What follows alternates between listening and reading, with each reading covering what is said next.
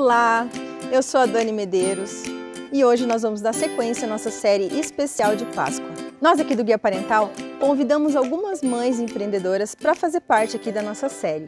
E hoje nós recebemos a psicóloga e também especialista em chocolate do grão à barra, Lucilene Sander. Ela vem falar um pouquinho sobre essa relação do chocolate à infância, como que nós podemos crescer com memórias afetivas com a Páscoa e também com um alimento que é baby friendly.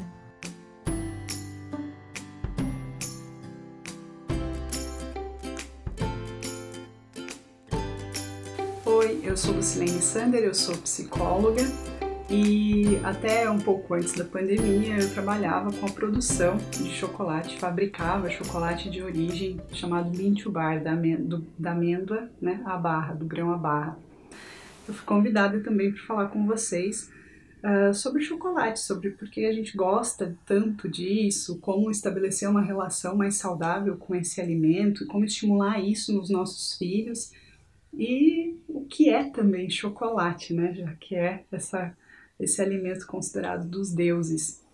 E ele é considerado dos deuses porque lá no início, na sua origem histórica, que tem indícios aí do seu uso há mais de 5 mil anos, uh, era feita uma bebida a partir das amêndoas do cacau, e essa bebida fermentada era, uh, era tomada, compartilhada uh, em rituais religiosos, né?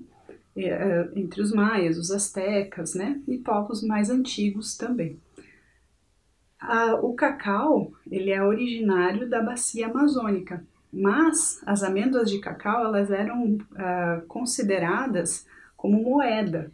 Então, com algumas, com algumas dezenas de, de amêndoas era possível comprar um escravo na época. E tinha muito essa relação de que o cacau era um alimento que tinha sido dado por, por um deus, o Quetzal uh, para que a humanidade então usufruísse disso e tivesse energia, porque era uma, um alimento muito energético e enfim, soldados consumiam amêndoas de cacau durante a guerra, porque isso os fortalecia. Uh, era, era considerado um fruto afrodisíaco também. Então tem todo essa, esse contexto histórico que também favoreceu aí essa relação, né? Já, já, já havia uma relação uh, de valoração do cacau. Quando vieram os espanhóis, os, os colonizadores, essas amêndoas foram levadas para a Europa. Primeiro eram tomadas também como uma bebida, depois passou a ser usado como uma bebida quente e o Henri Nestlé, um belo dia, resolveu adicionar uh, leite. Depois de um tempo antes do Henri Nestlé já tinha sido adicionado açúcar. E aí, mais tarde, veio a bebida, da bebida se tornou uma barra, né? E aí o chocolate como a gente conhece, mais ou menos como a gente conhece hoje. Por quê? Porque se a gente pensar hoje num chocolate desses mais comerciais, que a gente encontra comumente assim no supermercado, pensem aí num. Ele geralmente vai ter o mesmo sabor, né? Uh, durante anos aí, enquanto durar a sua vida comercial daquele produto, vai ter o mesmo sabor. Raramente isso muda. E quando a gente pega uma amêndoa de cacau para provar, uh, ela tem influências de sabores múltiplas, né? Se fala que o cacau tem mais de 200 notas aromáticas, então de sabor também, que influenciam aí no sabor. Então, a qualidade do cacau é uma coisa muito importante. Mas, por que, que esses produtos comerciais têm sempre o mesmo sabor? Não tem essa variação uh, aromática como a gente encontra no chocolate, num, numa amêndoa de cacau? Porque o cacau, na nossa sociedade, é, é uma commodity vendida em bolsa de valores. E, e aí, a produção, quanto mais barata, melhor. A grande indústria compra essas amêndoas, muitas vezes vinculadas com trabalho infantil, com trabalho escravo, com uma qualidade não tão boa, porque importa mais o volume do que a seleção dos grãos. comercializa isso, compra, produz o seu chocolate ali com uma adição de vários produtos químicos, aromatizantes, né, e, e outros elementos, principalmente gordura hidrogenada também, para baixar o valor, o custo final do produto. E a gente tem então um doce sabor chocolate. Geralmente o que a gente encontra nas prateleiras é isso, com uma quantidade de cacau e de derivados de cacau muito baixa. Então essa já é uma, uma dica importante, né? A gente olhar sempre quando a gente vai uh, olhar para um chocolate, escolher um chocolate, um produto, principalmente para a gente, para os nossos filhos, enfim, né? Para consumir, a gente procurar, uh, a gente olhar a lista de ingredientes desse, desse produto. O que, que tem nele? O ideal é que o primeiro ingrediente que venha na lista seja a massa de cacau, pasta de cacau, né, cacau também, né, algumas, algumas referências vêm amêndoa de cacau, isso significa que a porcentagem de cacau ali é maior. Mas aí, então isso já é uma, uma coisa importante, né, olhar o que vem primeiro ali, se vem quão, quão antes vem o cacau. Às vezes vem açúcar, vem pasta de cacau e aí vem outros ingredientes.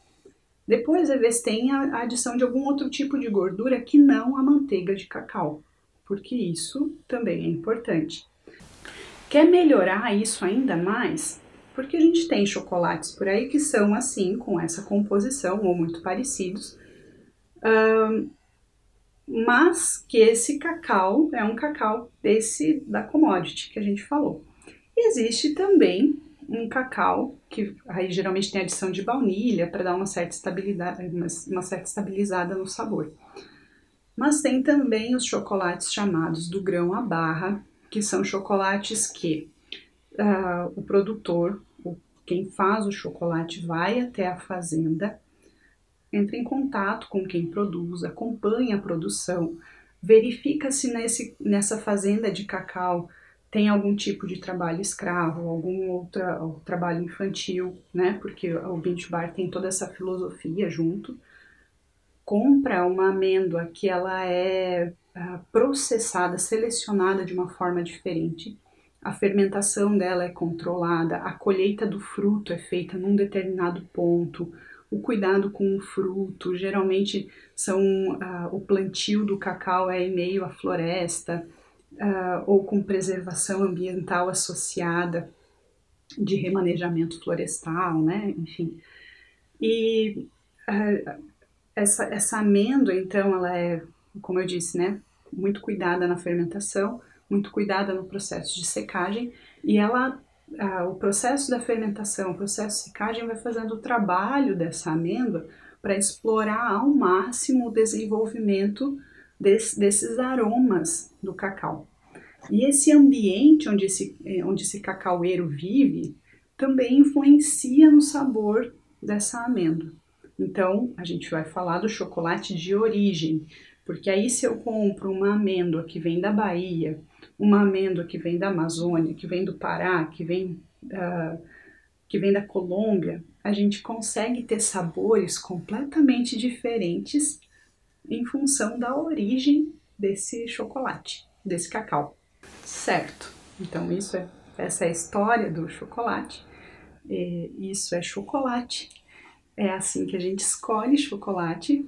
E aí entra a coisa do porquê que também o chocolate está na nossa vida de uma forma tão intensa. Bom, uh, os estudiosos da evolução humana, eles dizem né, que, que a preferência por doce é algo também construído biologicamente. Desde lá, porque na natureza, na época em que a gente ainda coletava frutos, vivia de forma nômade e tal, uh, os produtos, os, as, os frutos, os alimentos mais ácidos, eles estão relacionados a alimentos envenenados com veneno. Então a gente tinha uma resistência a esse tipo de sabor. E a evolução foi, né, nos colocando aí a preferência por alimentos mais adocicados, por eles serem mais seguros. Outra relação é que o leite materno é extremamente doce, ele é muito rico em açúcar e em gordura. o que, que tem no chocolate? Né? Geralmente açúcar e gordura, essa associação que se torna extremamente prazerosa. Além disso, a composição de chocolate favorece a liberação de serotonina, que dá uma sensação de prazer né, quando a gente come. Então, isso tudo faz com que a gente tenha uma relação prazerosa ao consumir um produto doce, não necessariamente apenas o chocolate. Então, essa relação né, ficou muito forte e muito como uma relação também de compensação e de benefício, né? Então, às vezes, ah, a criança se comporta bem e ganha um doce, né? Ah, se, ela, se, se, ela, se, se ela come todo o prato, ela ganha sobremesa. Então, esse é um cuidado que a gente precisa ter no dia a dia para estabelecer uma relação mais saudável com o doce e com o chocolate, não só com essa relação de compensação e de benefício, de prêmio, né? Que ele seja consumido. Ah, tudo bem, a gente vai ter as datas comemorativas onde há uma construção cultural e a presença deles é muito forte, e é, não é uma crítica a isso, mas que no dia a dia a gente também construa uma relação diferente e mais saudável com o doce, cuidando disso, para que não seja um, uma, um, um mecanismo de troca ou de compensação, de retribuição. É importante né, que o, o, cacau, o cacau em pó também, ele tem, uma, um, tem teobromina, que é um estimulante, e tem também cafeína. Então ele não deve ser consumido numa quantidade muito grande pelas crianças. Mas, eventualmente, numa Páscoa, por exemplo, é possível adicionar manteiga de cacau, cacau em pó e fazer um, um chocolate para criança. Ou comprar, encontrar no mercado um que, como eu falei antes, assim, com com maçã ou com algum outro uh, adoçante natural numa quantidade pequena, dependendo da idade da criança, certo? Eu espero ter contribuído, eu espero que isso sirva para vocês de algum modo, para vocês escolherem chocolates melhores para vocês e para os filhos de vocês. Obrigada e até mais!